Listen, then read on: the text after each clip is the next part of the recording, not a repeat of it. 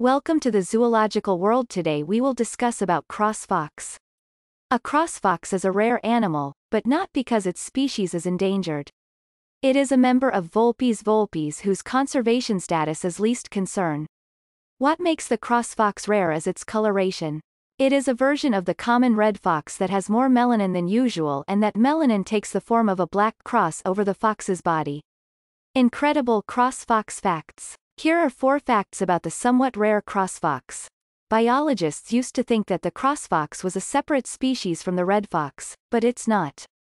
Its scientific name was Canis decussatus. There are several crossfox colors, and many have been deliberately created by fur traders. They include the silver crossfox, golden crossfox, the cross whitemark fox, the pearl cross whitemark fox, the pearl cross platinum and the amber crossfox. The height, length and weight of some of these designer foxes may differ from the red fox standard. Cross foxes come about when a regular red fox mates with a silver fox, which is itself a melanistic type of red fox. Biologists believe that as much as 30% of Canada's red foxes are cross foxes. Appearance The cross fox is the size and has the weight and height of a regular red fox, though European foxes and foxes that live in the desert may be a little bigger. The cross fox has a shoulder height of about 14 to 20 inches and weighs from 5 to as much as 31 pounds. It has a pointed muzzle, pointed ears, a lovely, thick pelt, and a bushy tail tipped with white. This white-tipped tail is how biologists tell red foxes, even melanistic ones, from other species of fox.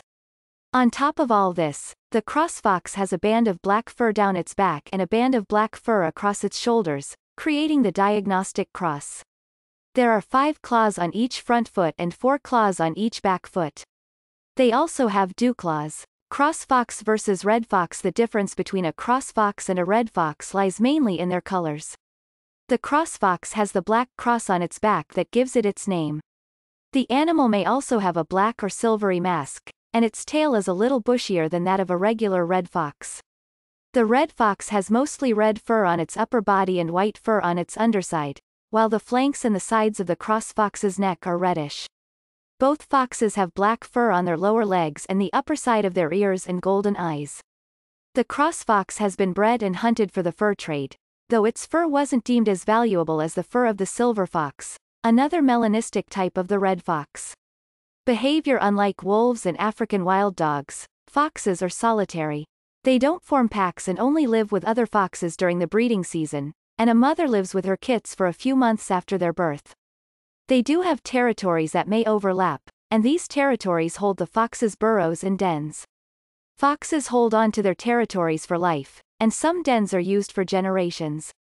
Foxes might raise their kits in larger dens, and these larger dens might have tunnels that lead to dens for caching food or resting. They may dig the burrows themselves or take them over if they belong to weaker animals such as rabbits. Some foxes live in abandoned outbuildings. These canines have as many as 28 types of vocalizations, and individual foxes can be identified by their voices. They can also communicate through their tails and facial expressions. Like other canines, they have anal sacs and use secretions from these and other glands in the pads of their feet, their lips, jaws, and the upper part of their tail to mark their territory. They also scent marks through their feces and urine. The fox's memory and senses are exceptionally keen, especially the senses of smell, vision, and touch. Reproduction and life cycle The breeding season for cross foxes depends on where they live. Since many cross foxes live in the north, they most likely breed from February to April. They are at least socially monogamous at this time, for the female, or vixen may mate with several males but will only pair up with one.